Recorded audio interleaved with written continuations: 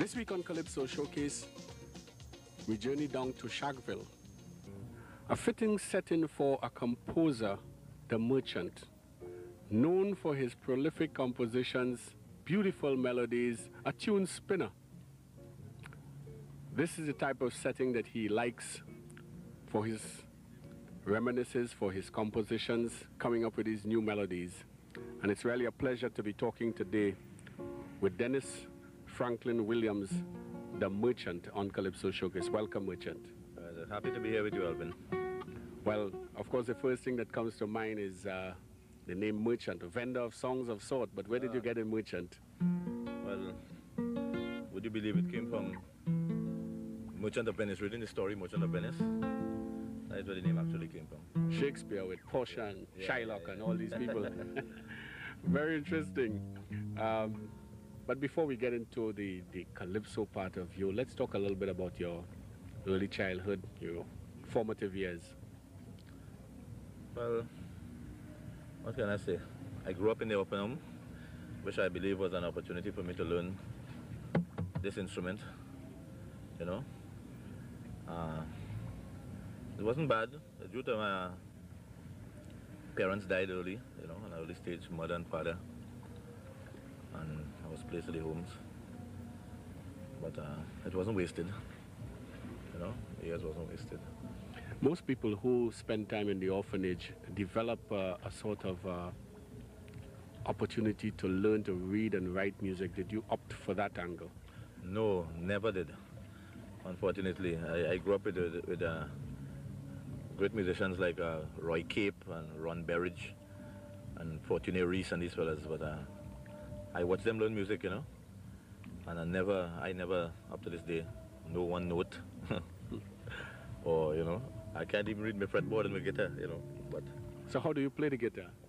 well, by ear, you know, so, so what? by so, ear. so what do you go through when it comes to say composing a tune? Uh, how do you go about um, recording what you you have composed?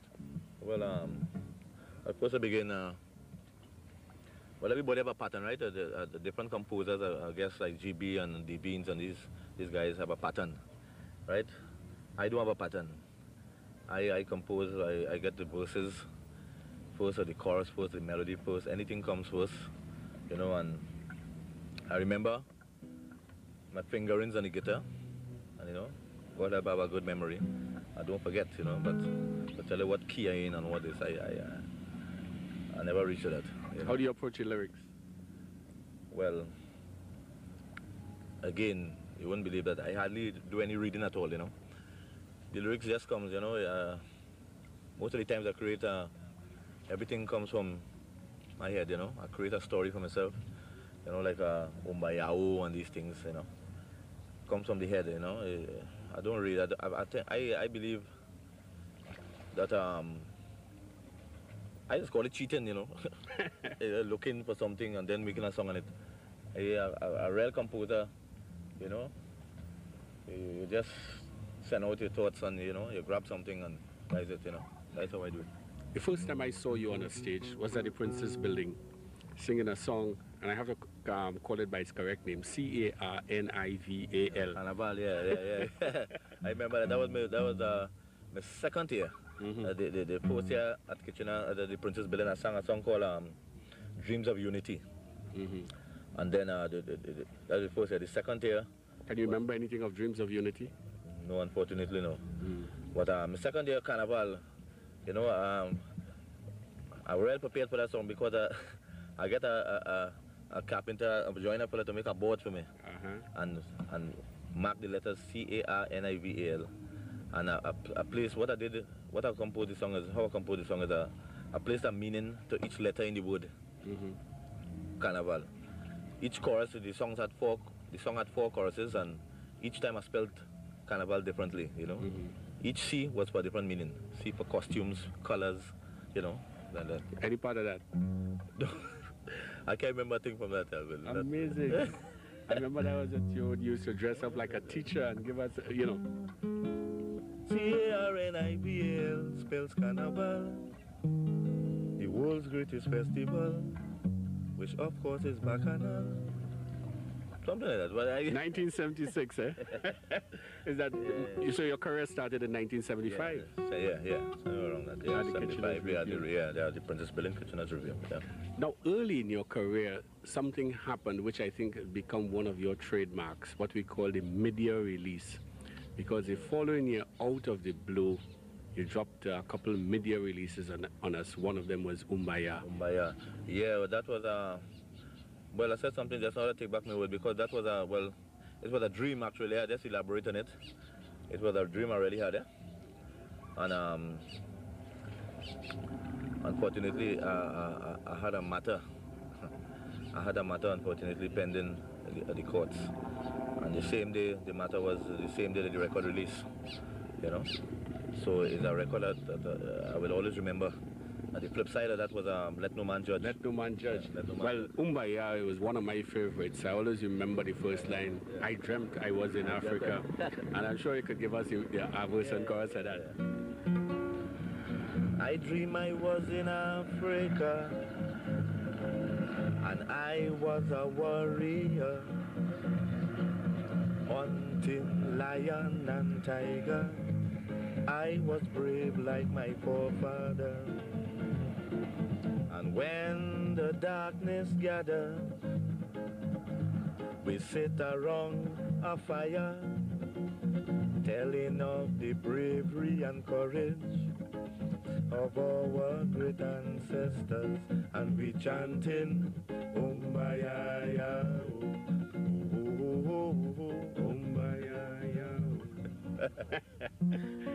Now, let no man judge, though. I mean, uh, I think this was you talking to the public, and um, the, the lyrics in that, again, here, I think what you said before now begins to make sense to me that you were saying something that was just in you and putting it back out in song. It wasn't something you had read in a book or heard on the radio.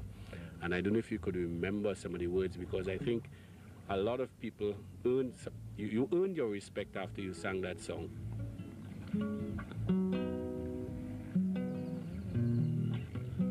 Don't judge a man by what he used to be or his ways of long ago. Instead, let us look at what he is now and could be tomorrow. Everybody deserves a chance in life. I'm sure you would agree. Don't try and condemn a person just so. It's cruel and ugly. If you see a man you know that was. Let me mind pause.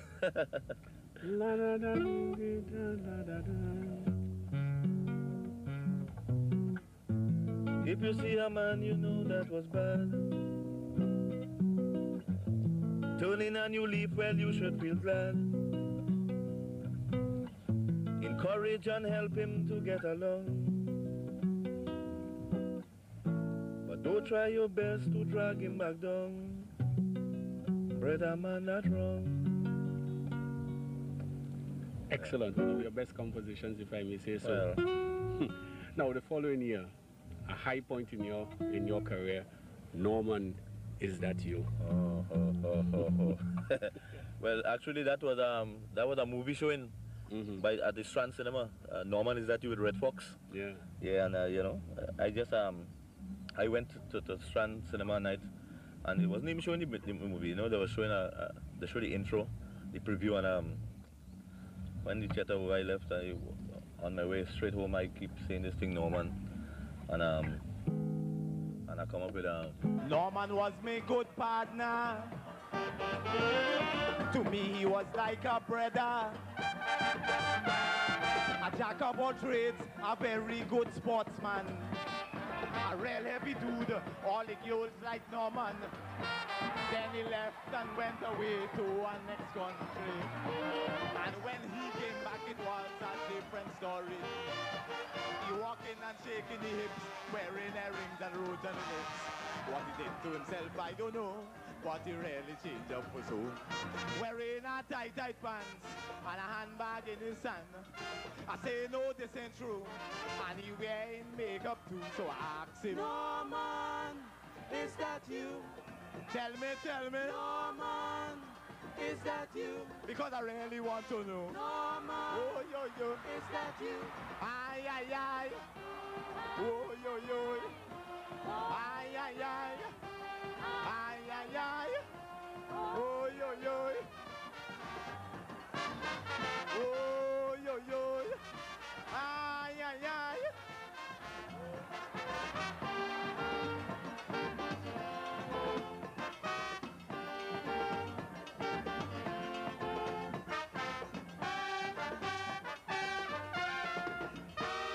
Sunday morning in the market.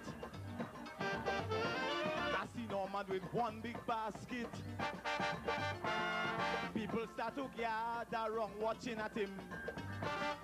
Everything so dear, Norman start complaining. Just know what they expect we housewives to do. Man, them vendors overdoing this for true. Mister, please, if you don't mind, give me a bunch of crystals and some time. Let me look to reach back home before me man think I gone on room. I don't know what he put here, but they pointing in the air. From behind he looking well. Believe me, I couldn't tell, so I asked him. Norman, is that you? Tell me, tell me, Norman, is that you? because I really want to know. Norman, is that you? Ay, ay, ay. Oh, yo, yo. Ay, ay, ay. Oh, yo, yo. Ay, ay, ay. Oh, yeah, yeah. Ay, ay, ay. Ay, ay, ay. Norman, is that you? I want to know, Norman, is that you? Still sounds sweet as yeah, ever. that was my first. That was my first hit. Yeah, that was the first time people get to really to know who is merchant, you know. You sang another song about the children, teach the children or something like that. Yeah, well, unfortunately, I can't remember that one. Yeah, that I sung that together with Norman. Yeah. that's the first time I You went all the way to the Yeah, to finals the- with the it, yeah, 1978. Yeah, yeah. The children of today are the grown-ups of tomorrow. So in them more interest we have to show. We must try to build a foundation for our young generation, for it concerns the future of this nation. So I beg you to teach the children Teach the children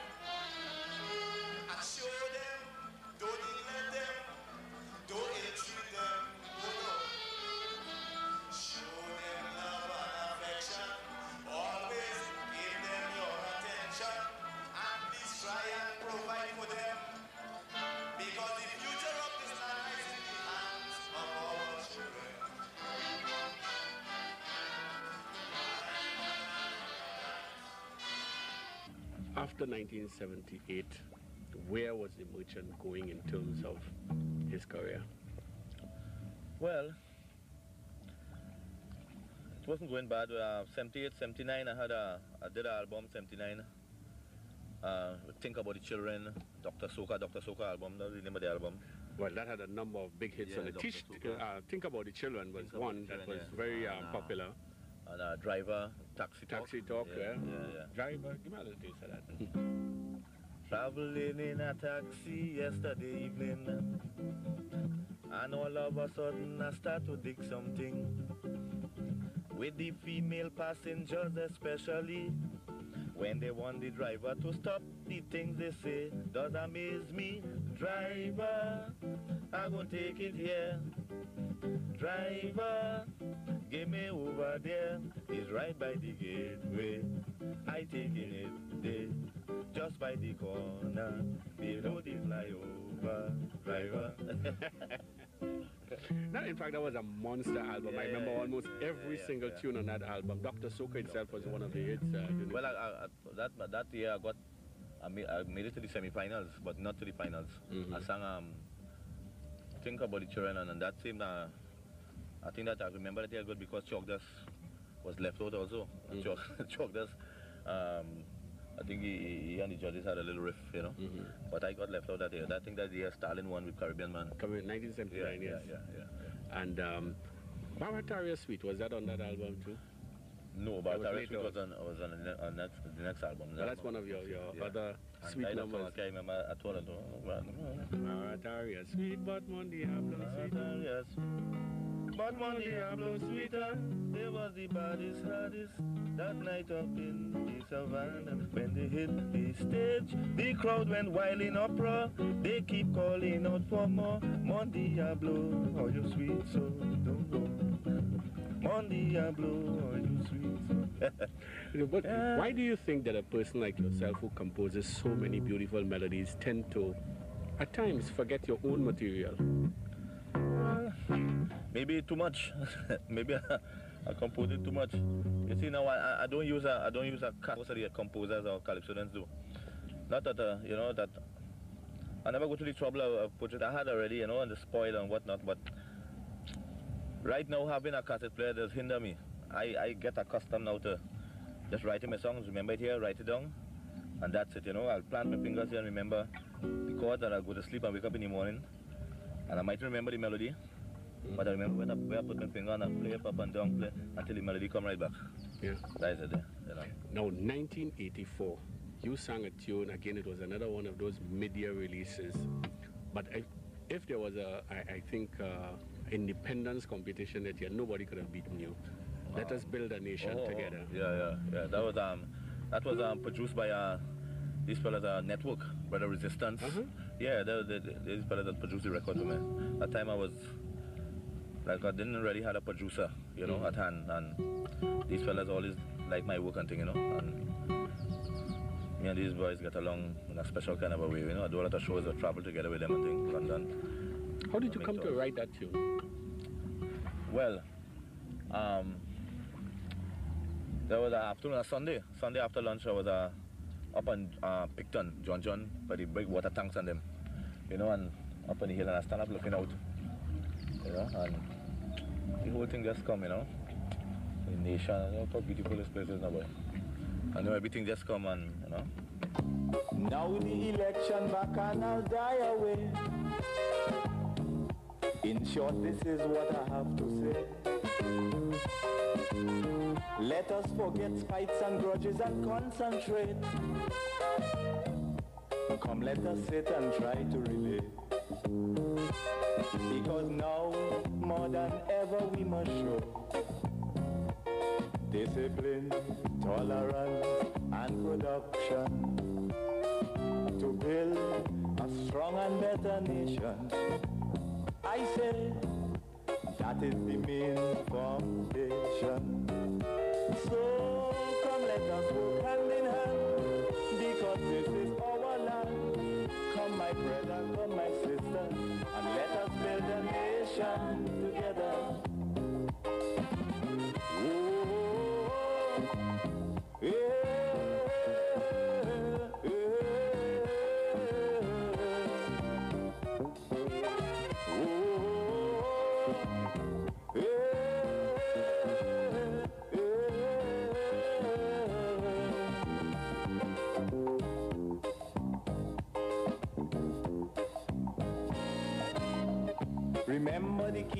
success is working hard. For our country we must have regard. Forget all your differences, let we start to build.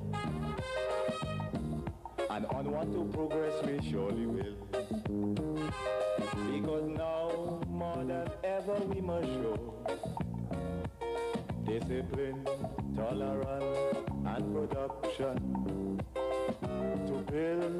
A strong and better nation. I say that is the main foundation. So come let us work hand in hand because this is our land. Come my brother, come my sister, and let us build a nation together.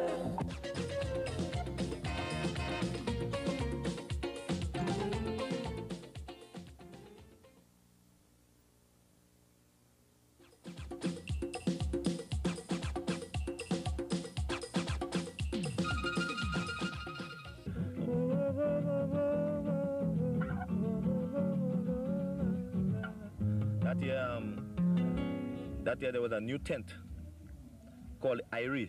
It was run by Stalin Right. and uh. Superior. that is where I was that year. I remember that. Irie Calypso tent, yeah. Uh-huh. Well, 1985. I remember, in fact, in an interview you had in 1984 with Dave Elcock, you told them next year, 1985, going to be my year, and I hope the other fellas ready. Yeah, yeah. And he gave him a little taster. You said I have a tune called Pan in Danger, and I think Yeah, that's yeah, going to yeah, do it. yeah, and yeah. so said, so done. steel band. Oh, what an invention.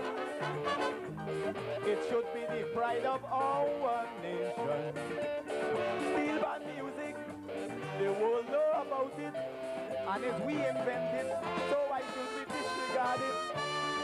But what a steel, Lord, it have me grieving. Why is the steel band of? Uncle Chris, take care. I could tell you. Uh-huh. Ask Boogsie, ask Boogie, them could tell you.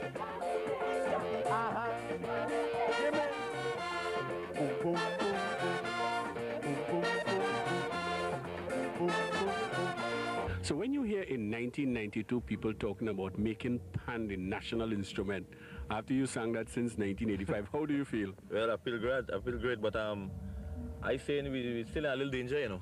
yeah, the pan, the pan. Uh, when I say pan in danger, I only speaking about like how they breaking down pan tent all about, you know. When I see a video on the TV with um Andy Narell, and then they're not showing you Boogsie, being seen Professor.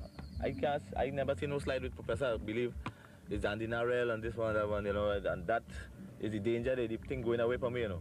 They say there's some factory somewhere in Sweden where you're pushing a drum and a thing come out. That all I be in danger still with the thing, you know. Yeah, I say danger. That year when you heard steel bands playing your tune, how oh did you oh, feel? Gosh, I feel what? About two bands all them bands pan in danger. I say what?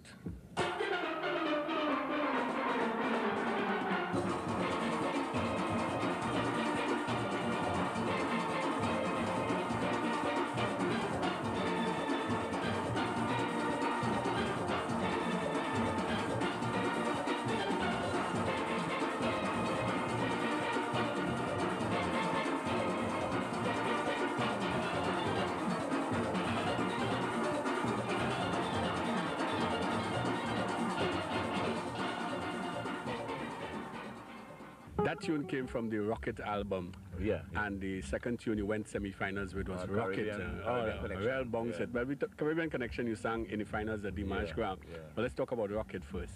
Right, Rocket. Um, well, I, I believe uh, Alvin, a party song is one of the hardest songs to make, you know. As I say to a composer, I don't know, GB might say different of, uh, Divines might say different, a party song. You know, where, where you could sing about it, a party song? So you have to look for something unique.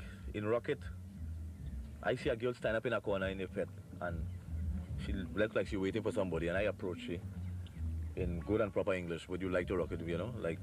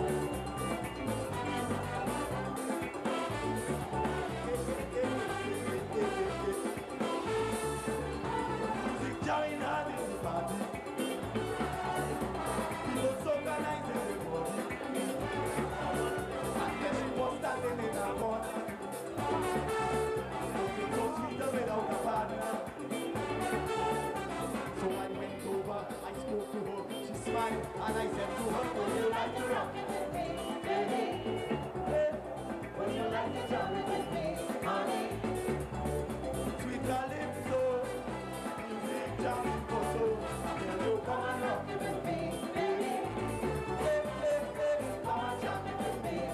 you.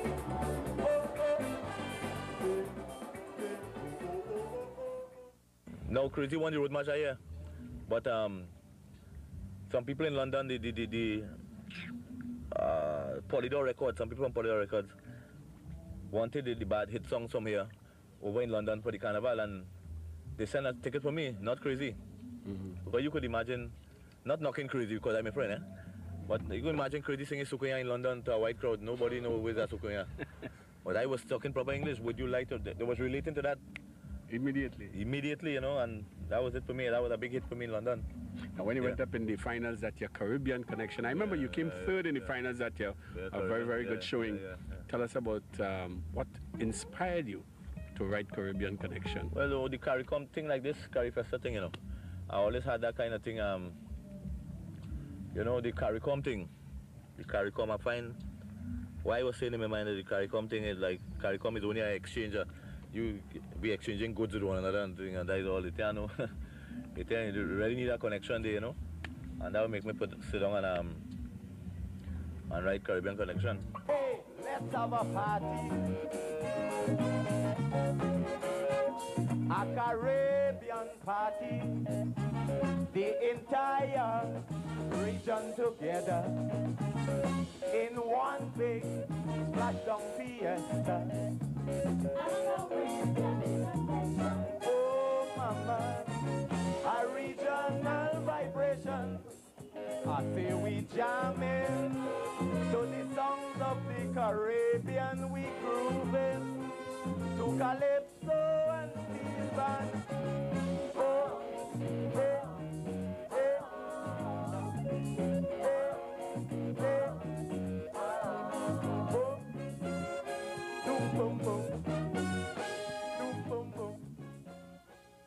But the following year, I, um, a tune that um, some people looked at as the follow-up to Rockin' It, Paranoid. Oh, but I can't remember that song at all. I don't know why. Paranoid, Yeah. you sound like you're paranoid. you can't see whole night is you.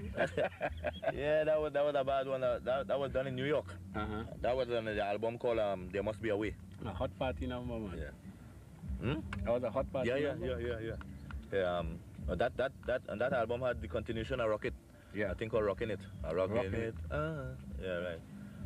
Now, the following year, though, you, you put together two numbers, and I, I really, I think if I had to call another tune that I put as one of your top 10, the tune Pain.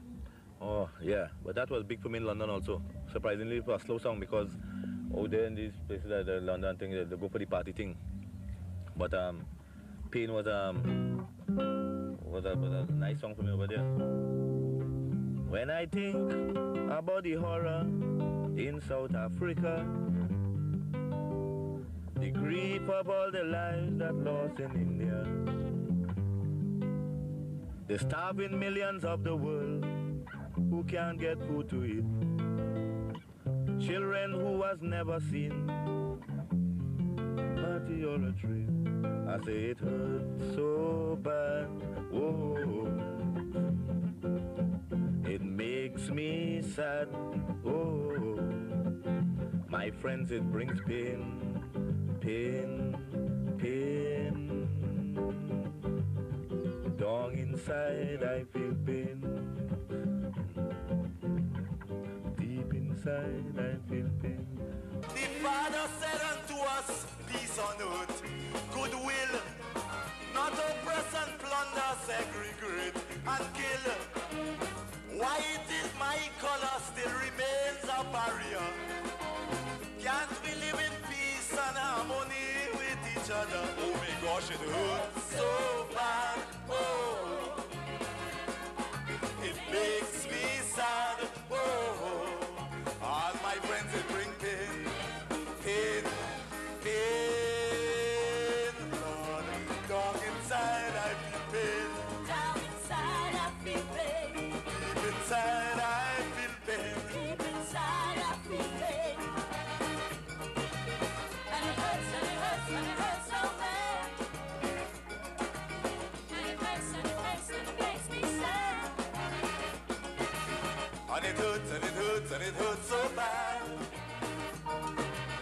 And it hurts and it hurts and it makes me sad.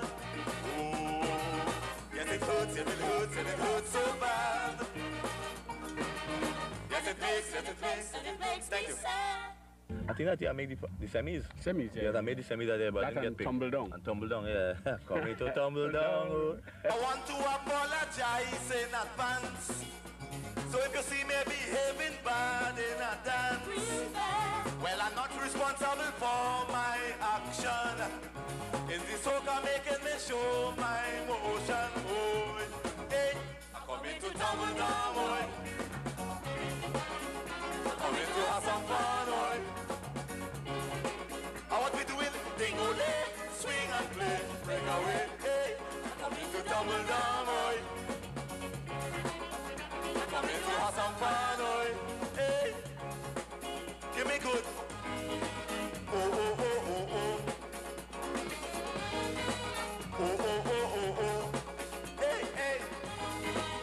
I say, give me nice. Hey, hey, hey, hey, hey. In terms of Calypsonians that you look around and see, who are some of the people that you have looked up to, admired, or, or felt you would like to have patterned yourself along Well, their uh, lines? Sparrow for one. You know, me and me and the bird gets along nice. You know, he will give me a good advice.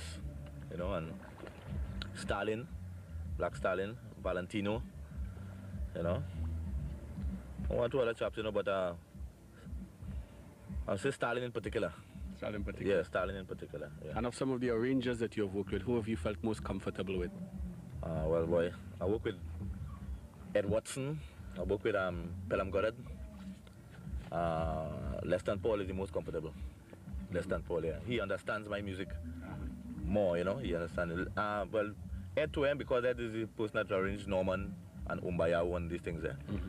But uh, Rock It and these things with Leston Paul. Pain, Leston Paul, Tumble Down, Leston Paul, you know. But Leston is, I like Leston. Do you set out to write a particular type of calypso, or you just sit down and wait for vibes to come? No, well, I just just do it, you know. I just, well, look, just now, me and my friend here was, uh, me and Brian was walking up the road just now, and as I tell you, I just get a thing and I run upstairs and pick up the guitar, and you know, it just come, it just, it just come, you know. Sometimes I lie in the night, I'm sleeping, and I get up, you know, and something hit me, and I just, just do something, just you know, it just keep coming all the time. But now when I get a, when I get a, sometimes you get a melody, and you get a topic, and the topic don't suit the melody.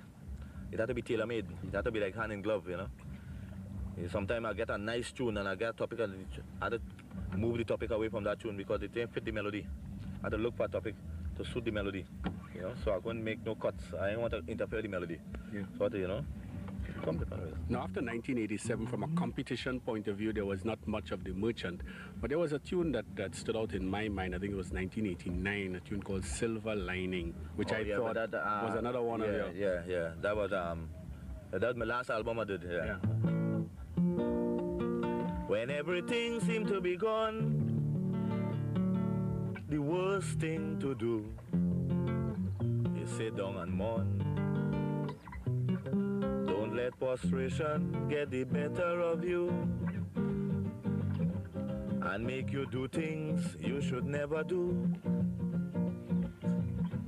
You got to keep the faith, you can't surrender. You never know, tomorrow may be brighter. Don't you know, behind every dark cloud, there's a silver lining. So don't give up hope now. We got to keep on trying.